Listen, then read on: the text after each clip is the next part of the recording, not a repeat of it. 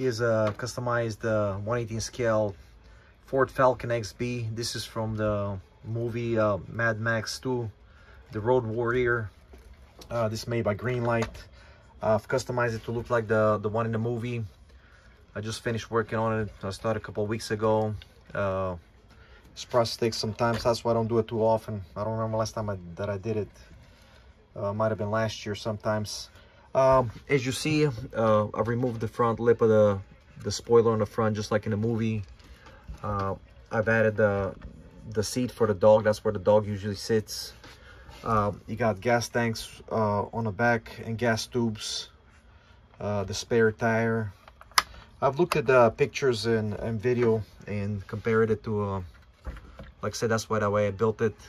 As you see, it's muddy all over. Uh, what I've done, I've also worn down the tires. You know, you don't want to have like brand new tires, so the, the tires gonna be, like I say, worn out. Just like the real car would have had, muddied out on the bottom.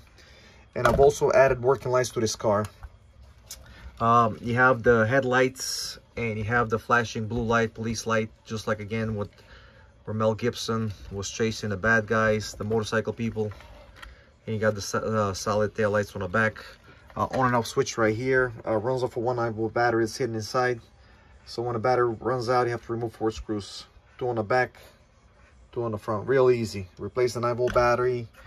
But this battery should last you a while though, because these uh, lights don't uh, don't use that much, uh, don't draw that much power. So we should last you for a while.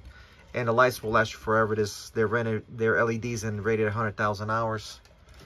Um, all right, uh, it does come with its box, so packed for safe delivery. Again, this is the Greenlight version. I know Auto Art makes a, a version just like that, but that, that one sells for, I think the last time I saw it for $1,200, somebody was asking for it. So here's one, you can grab one at a great price. And again, I don't know when I'll do one before the holidays, so if you want it for a gift, uh, then this is your chance. Uh, eBay name is 6877 Mercedes. Uh, please ask all questions before you bid. And uh, again, please subscribe to my YouTube channel to see my other custom built vehicles. Alright guys, thank you. One last look. Alright guys, have a good one.